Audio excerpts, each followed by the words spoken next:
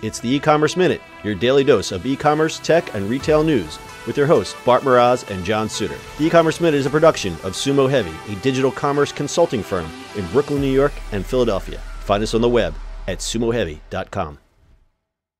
It's e-commerce minute episode 264. In today's episode, the sound of vinyl is a new way to collect. If you follow the music business, you already know that vinyl records have made a huge comeback in the last few years. Audiophiles know there's nothing quite like placing the needle on the turntable and hearing the warm sounds from their favorite LPs. LPs are not only prized for their rich sound, but also for their artwork and liner notes, something you can't get with a digital MP3. A new service aims to help LP junkies get their fix.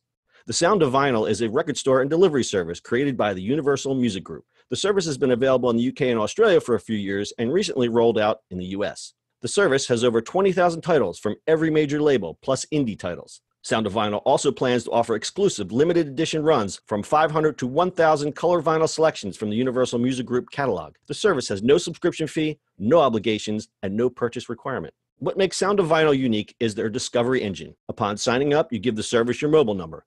You'll then be texted a quiz to determine what types of records you enjoy.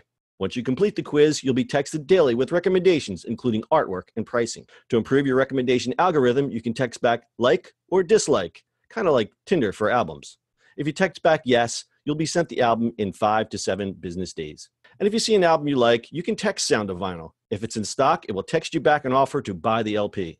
The process makes album buying more accessible since many areas just don't have stores that carry vinyl, and some may be intimidated by going into small indie record shops. If you don't want to buy via text, Sound of Vinyl also sells records straight on the website.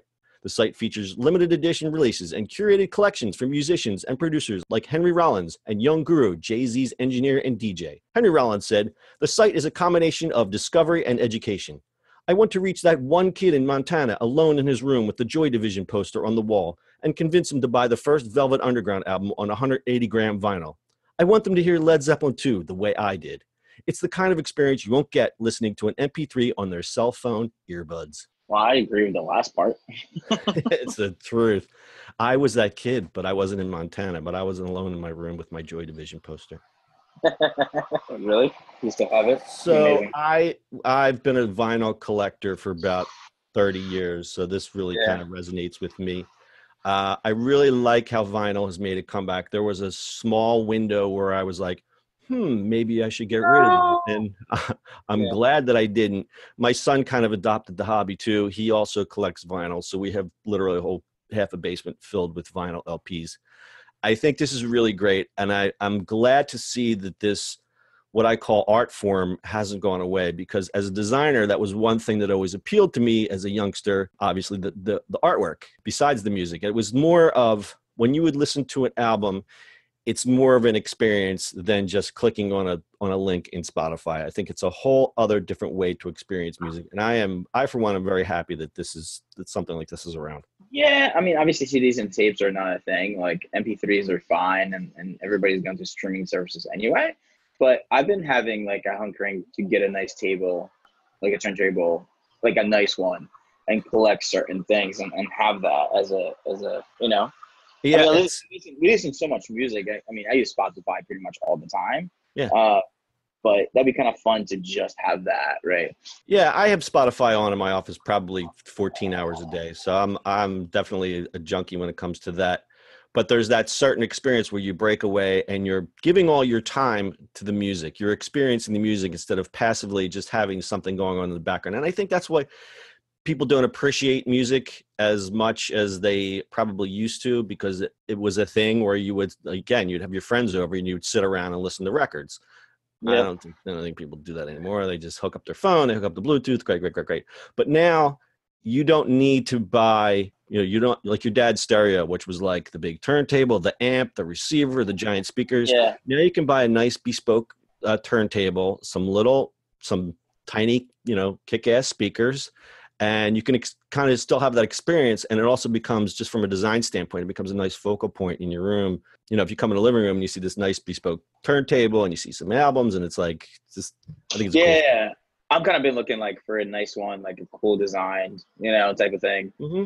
just just to have it um, yeah it won't break the bank you know you can spend a couple no. hundred dollars get a really good turntable and um but what i really like about this service is the recommendation engine You take the first quiz, it finds Mhm. out you like rap, you like hip hop, you like new wave, you like oldies, whatever.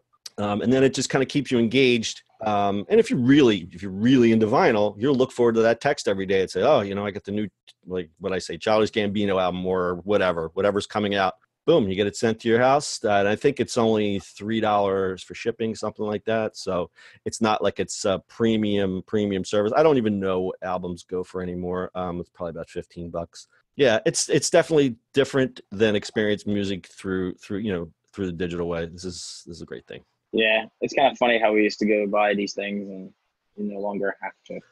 Well, you know, digital music is disposable. Yeah. And it's a shame. It's a shame. I have, I should take a picture of this.